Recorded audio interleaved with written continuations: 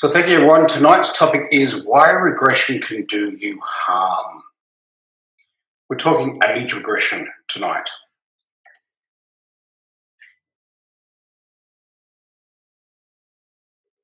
Obviously, the first thing is I need to introduce who I am. My name is Gordon Young. I'm the director of the Institute of Applied Psychology. Some of you watching might know me, others obviously don't. I've been in the field for about 15 years now.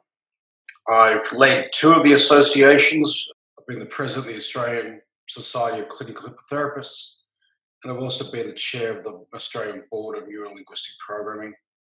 I've been the editor of the only peer reviewed journal in the field in Australia. I am a published author. And probably the biggest point of difference between myself and most people in Australia, most trainers in Australia, is that I trained with the Milton H. Erickson Foundation of Phoenix, Arizona, uh, considered by many to be the pinnacle of hypnosis training in the world and, in fact, the birthplace of neurolinguistic programming. I've since participated in international conferences that this organization has sponsored as a faculty member rather than a student. And the little thing in red there, the 100 Leaders Program, refers to a leadership program, I'm told the largest in the Southern Hemisphere, where they did a study of leadership and they looked at 100 different professions and sought out uh, the person that was deemed to be the leader in that field and interviewed them about how they work and how their views of leadership and in this field, I was the one chosen.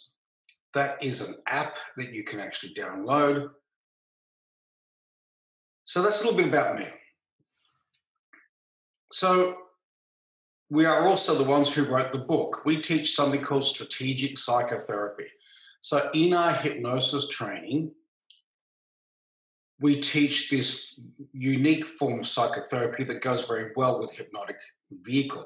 So hypnosis isn't really a therapy in and of itself. Taking someone into trance doesn't doesn't necessarily do anything. It relaxes them, but apart from that, relaxing people doesn't really do that much. It might be therapeutic, but it's not therapy. And so there's a particular form of therapy that I brought back in from overseas. And there wasn't much written on it. I've developed it and in conjunction with Dr. William Herfel, who was a uh, philosophy of sciences uh, lecturer at Newcastle University. He's co authored this book, and this is the textbook for this course. Uh, strategic psychotherapy is what you do when you get them into trance. So, hypnosis is the vehicle for delivering strategic psychotherapy. So, what is age regression? Now that we've established who we are, what is age regression? Well, technically, it's taking clients back into their past. If I ask you what you did this morning for breakfast, technically that's age regression. But in reality, it generally refers to this idea of going back and looking for a repressed memory that might explain existing issues, or it might go be past life regression work. There's, there's these things very popular in hypnosis. Uh, I don't get it much anymore, but I certainly used to get it where people would ring up and say, Can you take me back through my past?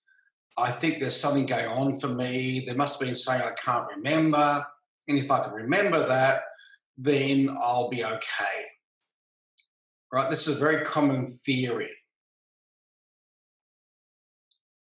The basic premise is that one event causes the trauma or creates a debilitating pattern of thought or behavior in some way. So it's referred to as a linear causal model. A linear causal model is that there's a direct link, there's a cause and effect. If, and, and that kind of works in, in physics well enough. If I hit myself on the shoulder, then I cause myself some grief here, some pain here, it's a clear indicator that you know, the strike caused the pain. This is a little bit harder to, uh, to negotiate when it comes to mental processes. So, the linear causal model has been really, really strong in psychotherapy for about 100 years. As I said, very popular right until about the 1980s. Age regression was probably the most common thing a therapist would do with someone. Freud was all about going to the past, and when you think about it, about it, totally makes sense if you can't work out what's going on for you, where could it have emerged? Well, your past is the obvious place that it started, somewhere in your childhood. And and so it makes sense to go looking for it if you don't have other mechanisms. Now, have your problems, whatever they are, and your patterns of behavior, have they been created in the past? Of course. Where else could they have been created? But going back looking for them presupposes a bunch of things that I don't necessarily agree with. So let me give you a bit of background so that I'm clear about my biases, because that's what's most important. That I'm clear and upfront about my view before I tell you anything else. So, my original training was in therapies that took you back into your childhood regularly to go and review and access. And I also did past life regression work. I trained with the Michael Newton Foundation out of New York, probably arguably the most famous um, past life regression school in the world. And I had a very interesting experience. There was 26 of us. And there were times when there might be four or six of us left in the room because we'd go off and do an exercise, and most people were so traumatized by that exercise that they had to go home. Most of them discovered that they had some terrible deaths in previous lives. Uh, they came back the next day, still often quite traumatized. And I was greatly concerned by this there were a number of stories that came out of that. There was one woman who claimed that in the hypnosis, she went back to the year 1200. She knew it was the year 1200 for very specific reasons. I can't quite remember exactly what they were. But her current husband had been her husband back in 1200, and he had strangled her with piano wire. Now, most people in the room saw a very clear causal link as to why she's got issues with her husband now, as you might. This made perfect sense to most people in the room, and the story grew about how clear this was because she was so emotional about the story, it had to be real. And I'm, I'm a former history teacher pianos weren't invented until the 1700s. So she's out by about 500 years. And even if we kind of go back to the harpsichord, which is like a, a precursor to uh, pianos, again, they didn't have the technology to make piano wire anything close to 1200. So I was sitting back thinking, okay, everyone's buying into this, but I'm really struggling here with the details. And they, there were a number of others. I worked with a guy who,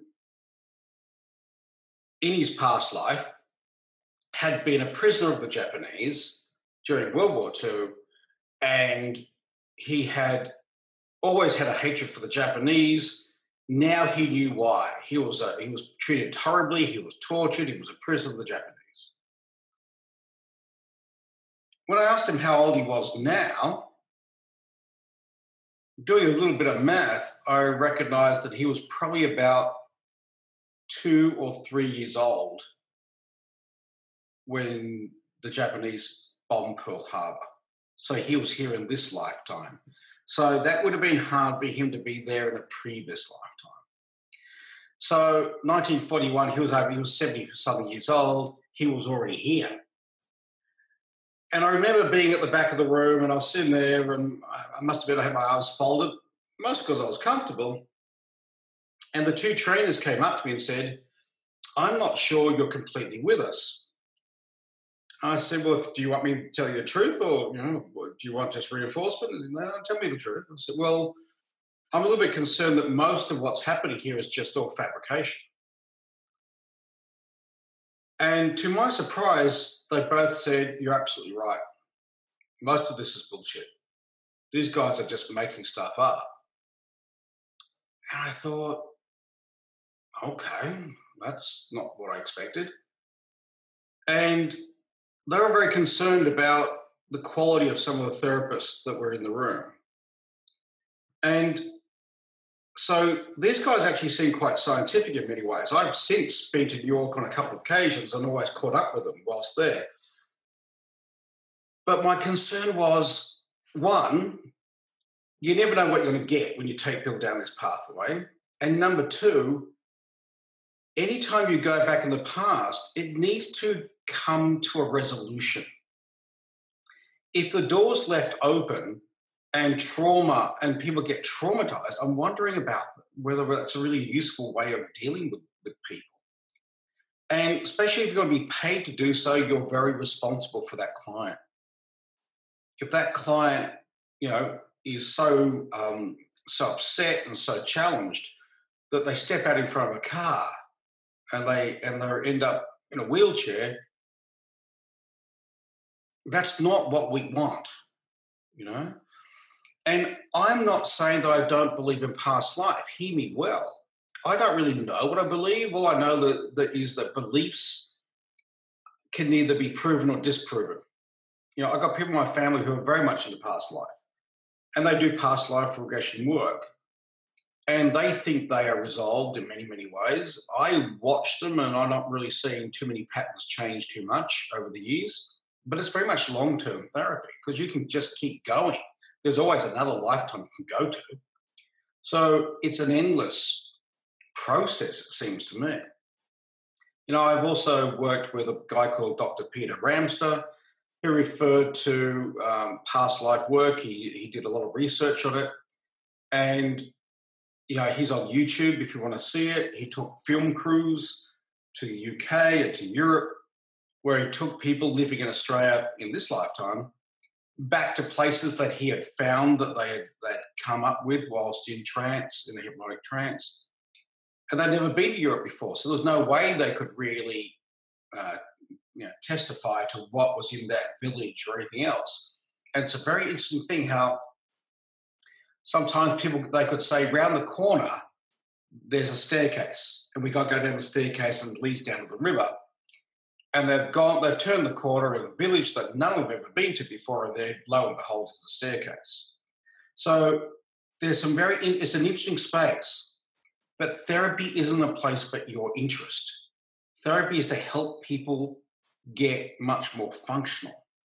So whether you believe in past life or not doesn't necessarily make it a good therapeutic intervention. I suppose is what I'm really saying here. And one the, and hence there's a number of reasons but i do not teach age regression in our courses. Absolutely not. Here's why. I know other schools do. There's visiting uh, women from the uk who are doing age regression stuff uh, there's a whole bunch of people do age regression stuff but i won't do it and here's why i want you to hear me out 10 reasons the first one is it always assumed that there was a direct and simple causal link for every issue. My dad said, you know, I'm, I'm overweight because my dad said this to me when I was eight. Well, your dad said lots of things to you. Why is this one so important? You know, you ignored your father and all sorts of other things. Why did you pay attention to this? And what I think happens is when we can't work out why we do what we do, our brain, our logical brain, conscious mind goes back in the past because where else can it go on an archaeological dig to try and work out why am I like this and looks for something called salience. Salience is anything that kind of seems to link in together. It's the same thing you have when you uh, when you have synergy. You know, you're thinking about someone and then they call. So the two bits of information come together. But there's times when you weren't thinking about someone and they called, and there's times when you thought about someone and they didn't call. And there's times when you didn't think about someone and they didn't call. All those things are true. You only notice when the two bits of information come together. It's also assumed that the explanation equates to a resolution, that if you explain a situation, it resolves a situation. Well, sometimes. You know, the truth is, there's over 400 different types of therapy, and every one of them has their devotees. So people do get outcomes no matter what. And here's a problem for you. If during therapy, a woman kind of comes up to the idea that she has poor relationships with men because she had an absent father, and now she remembers this. Here's my question How does that help? What changes anything with that? Ultimately, the absenteeism of the father doesn't change it. If that, let's say it's true, let's give it to them. It's true. Now, what are you going to do? The truth is, there's a skills gap. You don't know how to run a good relationship. Maybe you don't know how to pick a good partner in the first place. So that skills gap is the real issue, and that's happening right here the right now. Here's a thought for you your past and your future don't exist anywhere in the real world. Right here, right now, the breath you're taking, this moment is your life. But your past doesn't exist. You can't change what you had for breakfast. So every time you go back into your past and dredge something back up, you bring it back into your present. It's not your past that's worrying you, it's the present. So if you keep bringing back things that are 10 years old or more, old traumas, old annoyances and frustrations, it's only a problem because you're, you're activating them in the present moment. My suggestion is stop doing that. You know, it's over. It's a memory. It's just a collection of thoughts you've got in your head now. It's also assumed that all memories in hypnosis are accurate. Now, that's been debunked. When I was first taught hypnosis, they were still teaching that. But the research is pretty clear. There is a real danger of false memory. If you do, if you try to dredge up a memory that they can't access normally when they walk through your door, and you do it through age regression, there is a danger you could implant a memory that isn't real. When I first came into hypnosis, we were paying something like $1,500 a year for insurance because the insurance companies were so worried about false memories that people would accidentally put in memories and thoughts that the client would then think was true.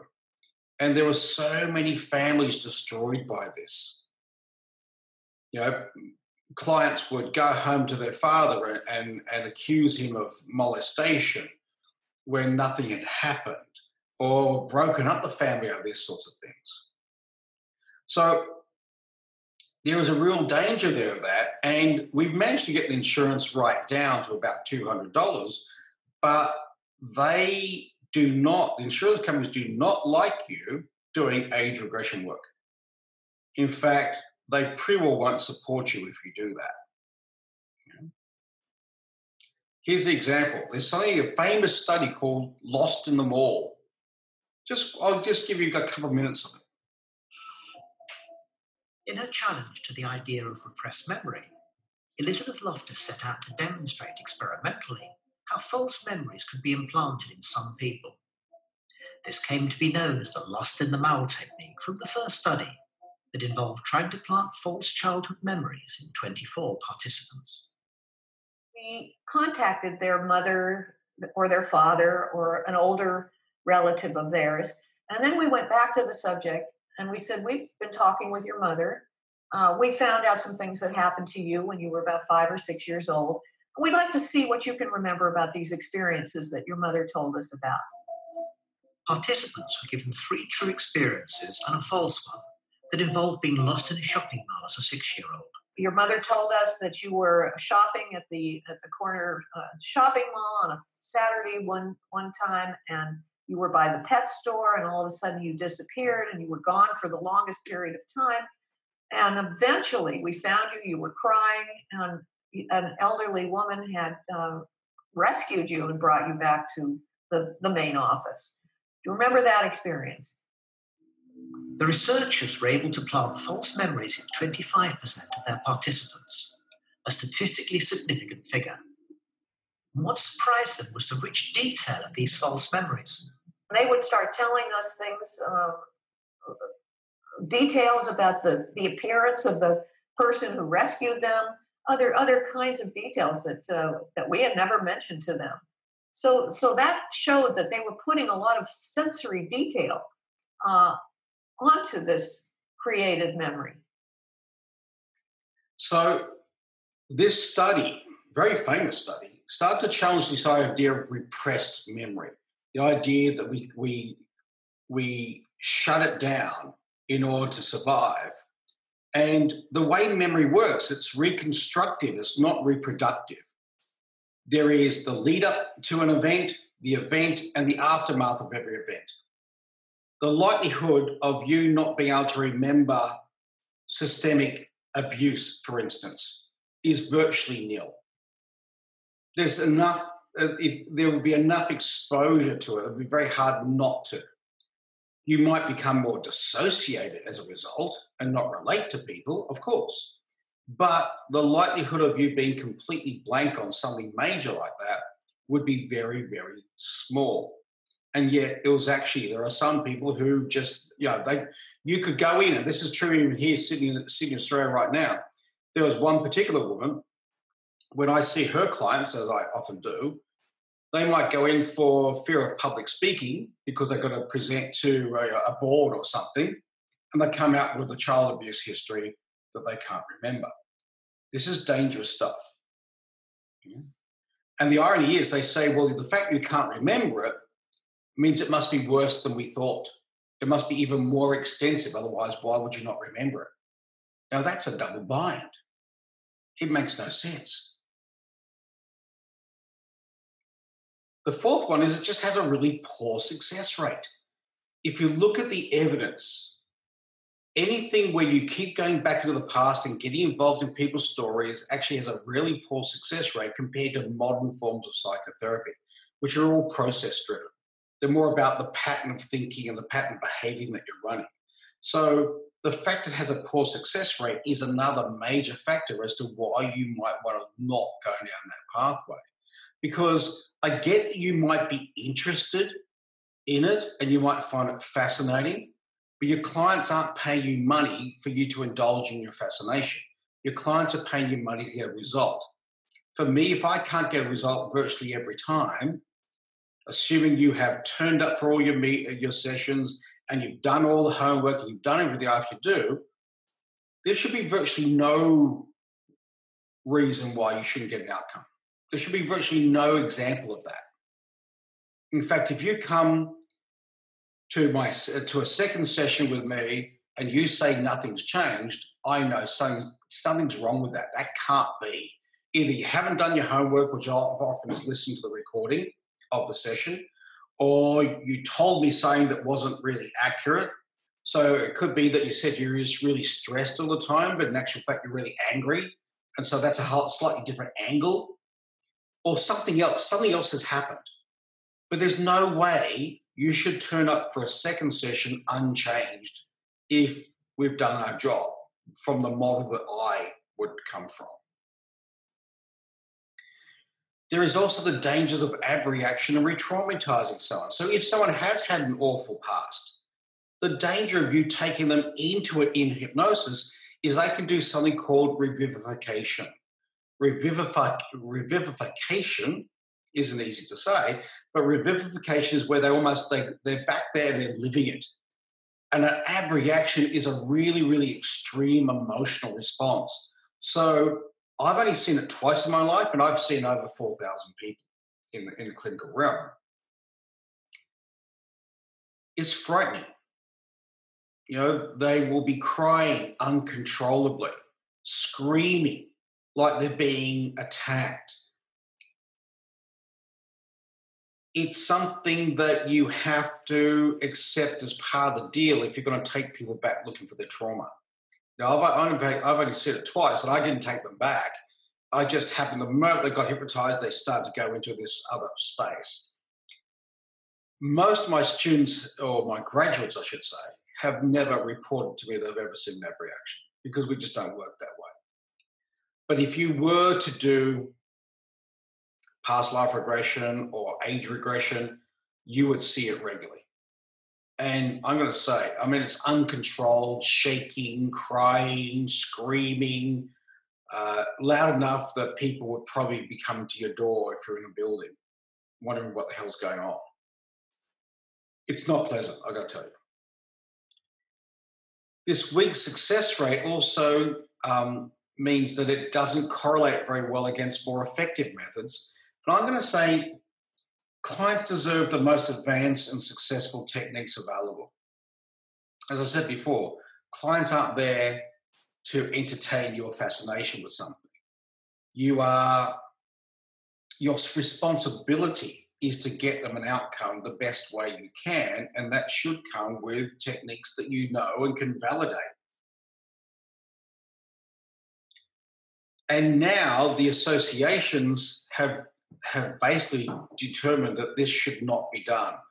Age regression work should be avoided. It is inadvisable. Insurance companies will typically not cover you if you go looking for a memory that cannot be accessed in the here and now by the client before you did the session.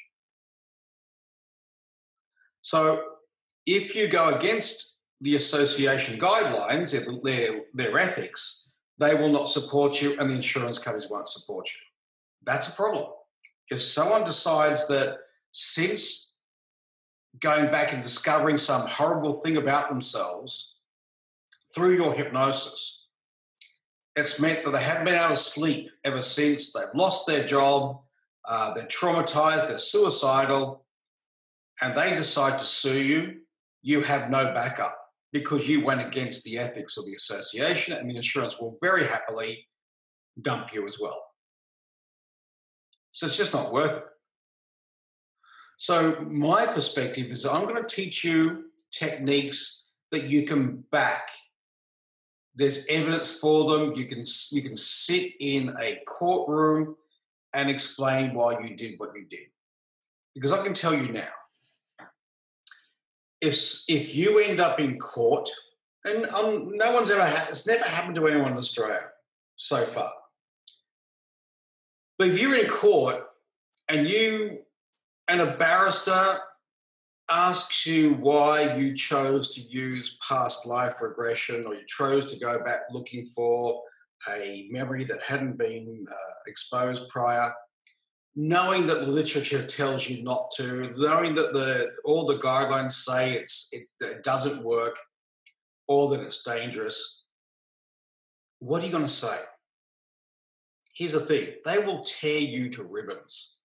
You will be their best entertainment they've had in a year because they will pull you apart. You will not win that one because you haven't got a leg to stand on you've gone for something that is actually proven to have very poor outcome.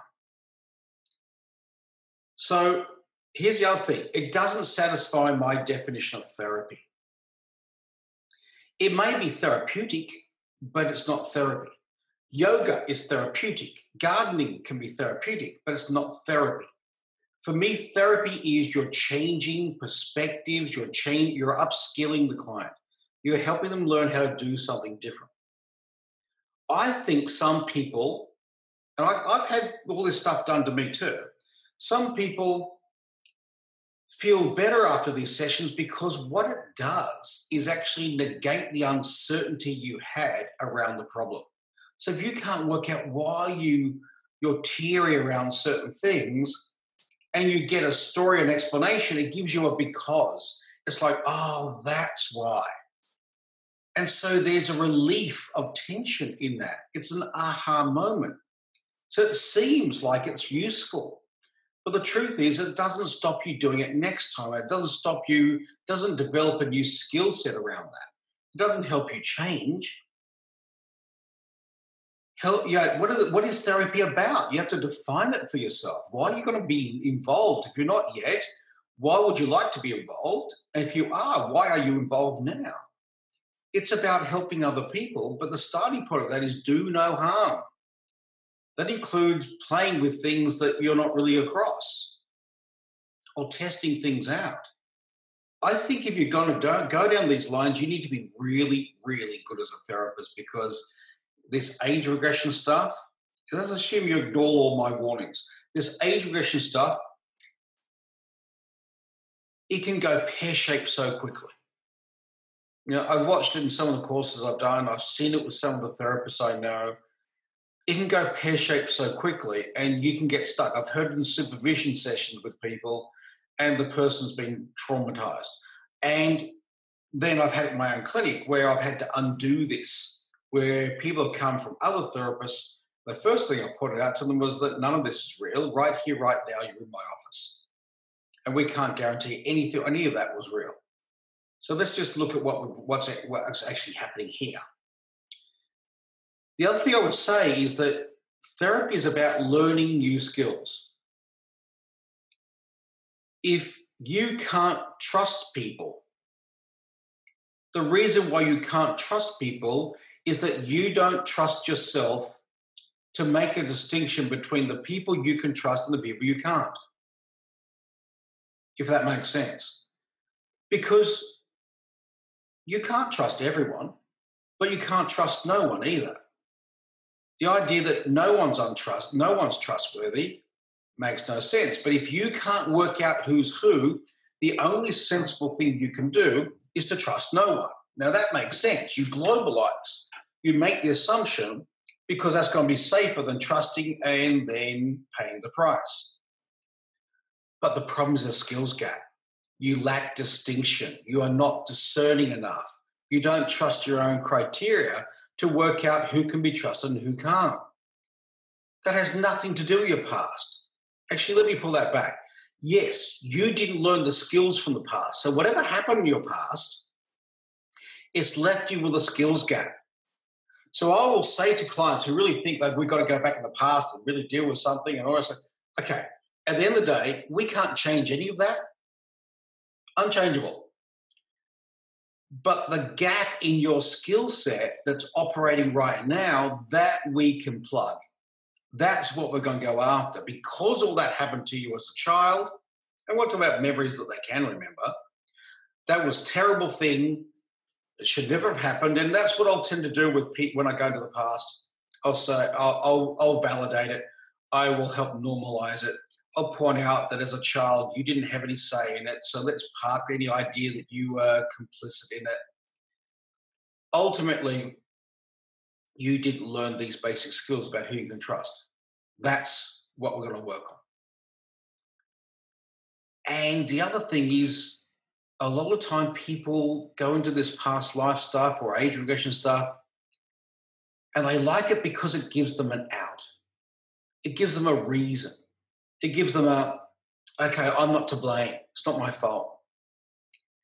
And when you won't take responsibility for your behavior and your actions and your thoughts, it also means you don't have power. My job is not to blame anyone. My job is to help you get back control of your life. So even in hypnotherapy, that sounds like it, you know, people don't know much about it, sounds like it's about me controlling them. The truth is, my whole aim is to help them get control of themselves. Because if I don't help you understand a basic premise that you're in control of your own thoughts and feelings, then you'll never have a happy life.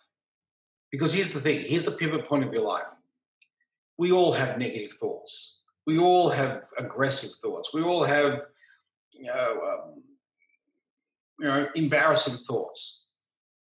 The question is, do you listen to them or not? The difference between people who are stuck are the one they they tend to listen to all these thoughts and feelings. The ones who aren't just don't give them airtime.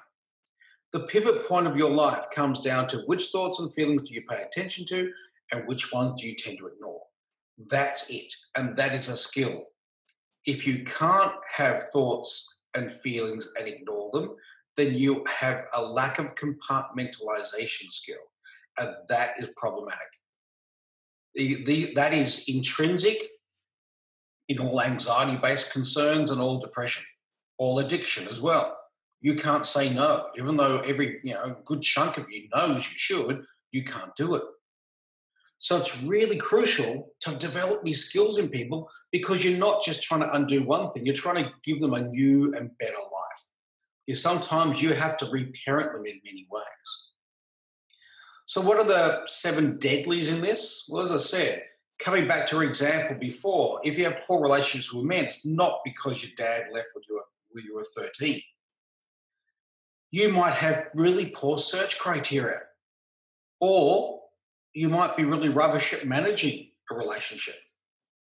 I have to find out from you. What is your criteria when you're choosing a partner? Is it that he's cute? Because if that's it, there's a lot of other elements that really need to be in that criteria. The most common one is how he makes me feel. I'm using the female example because that's why I see come through my door so often. But how he makes you feel doesn't actually speak about him, it speaks about you. You might tend to use your emotions too much as an indicator of action. So this is that this comes back to the same thing. Oh, he makes me feel this way. He's the one, but you know he doesn't have a job and he's he has no friends or his friends are deadbeats or whatever else it is. You have to ignore all that, and you go with your feelings you probably run a level of conflict aversion or poor boundary setting in order to keep coming up with poor relationships with men. If you're conflict adverse, then it's very hard for you to set a boundary or to pull people up on something. You'll also tend to run something called an avoidant coping style. That is to say, if there's a problem here in front of you, you want to look that way. You don't deal with it. That way, things start to slide you know that there's some red flags you've just seen, and you don't pay attention to them the way you should have. I can't tell you how many women have got trapped in a really unpleasant, abusive relationship. And when I ask them, Are you telling me there were no signs of this? The answer is always yes, there were, but they ignored them. They wanted it to be true when it wasn't. They have an unrealistic self assessment that means you don't know how to assess yourself realistically. Typically, most women will underestimate themselves. As a general rule, men can overestimate themselves a fair bit. So when you can't work out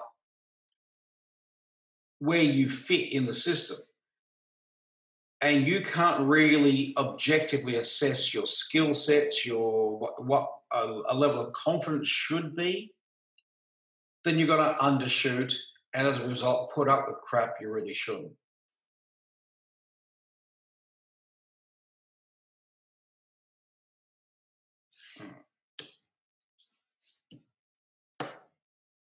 Mm-hmm.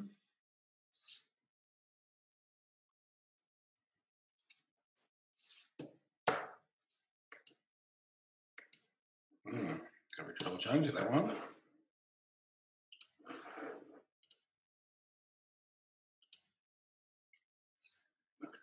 So, one of the guiding principles here is the problem is not the event. No matter what happened, the problem is your reaction to what happened. It's not what happened. How you react to it is unique to you. The same thing could have happened to any number of other people, but they didn't react the way you did. So there are exceptions to the rule. I had in my own family. My mother was a prisoner of war of the Japanese. She was taken on her 12th birthday. My, fa- my grandfather was a colonel in the Hong Kong Defence Force, British Army. He died in the, in the siege of Hong Kong. My aunt, who was nine, was also taken. And I remember when I was just a young boy, eight, nine, ten, we used to go and visit my aunt who was living in Queensland and she I would hear her and she would constantly talk about how the war had ruined her life, but she'd never been the same again. And my mother would say to her, Why do you keep talking about the war? It's 30 years ago, it's 40 years ago. Let it go. It's, it's a long time ago. It's history. And she'd say, well, you." My aunt would say, "Oh, yeah, but you don't understand. I really."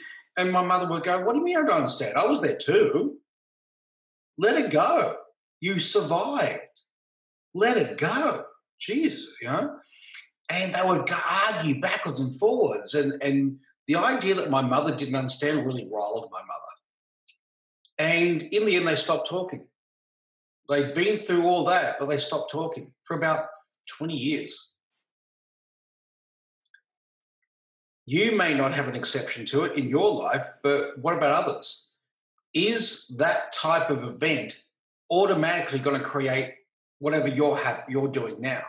If someone else doesn't, if someone had the same experience or a similar experience and isn't acting the way you are, what are they doing differently?